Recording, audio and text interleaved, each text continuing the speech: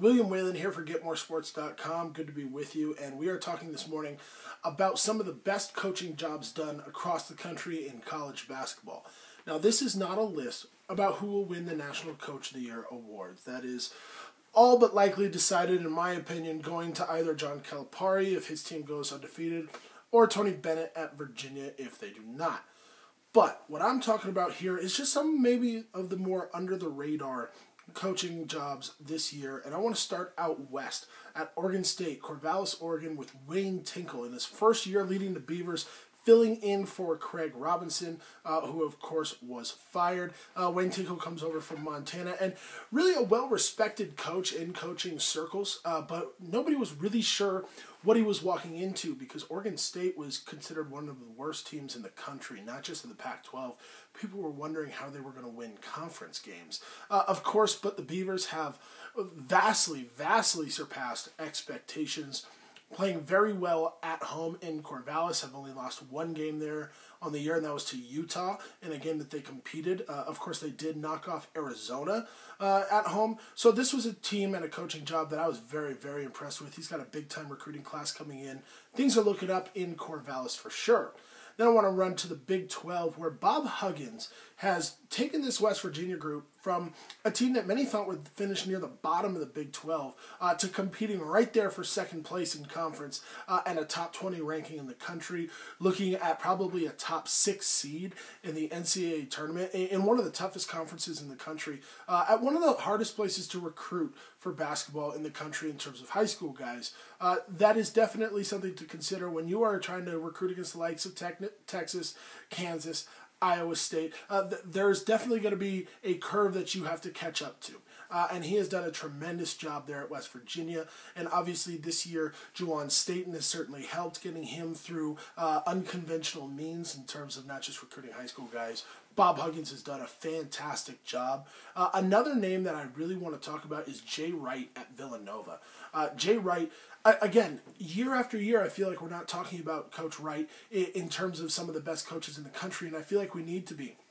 He is taking he has taken this team that really lacks a, a star uh, real star power for a top five team. Villanova doesn't have it. And yet, Jay Wright has molded this team in, into a lethal force, uh, specifically at guard. And, and, I'm really impressed with what the Wildcats have done year after year. As I've, I've said it many times here, uh, Jay Wright does this. And, and, it's time that we start giving him truly his due uh, because this is probably a top three coaching performance in the country this year.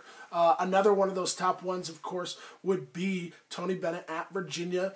Uh, keeping this team together as injuries have unfolded to Anderson, London Perantes. Uh, this is a team that is still to be reckoned with come March, uh, especially once they get Anderson back, uh, either in the ACC tournament or after the ACC tournament definitely going to be a team to watch uh, going into the Final Four run. Uh, but Virginia really, it's quite incredible uh, what Tony Bennett has done. Uh, recruiting to Virginia, kind of like West Virginia, is, is very tough. Uh, not only because you're going, you're trying to get kind of Washington D.C. Baltimore kids, but they're being recruited by Maryland and Georgetown, not to mention North Carolina, Duke, the top ones at least. Uh, so Virginia is in a spot where they can't just handpick anybody they want and yet year after year they're extremely, extremely competitive. Uh, so Tony Bennett definitely turning in another fantastic coaching job there with his pack line defense. And I know what you're thinking. Here I go with Maryland, but Mark Turgeon, uh, what can you say? I mean, Melo Trimble was not a consensus five star recruit or anything coming out of high school, and yet he's turned into one of the better freshman guards uh, and one of the better guards, regardless of class, in the country.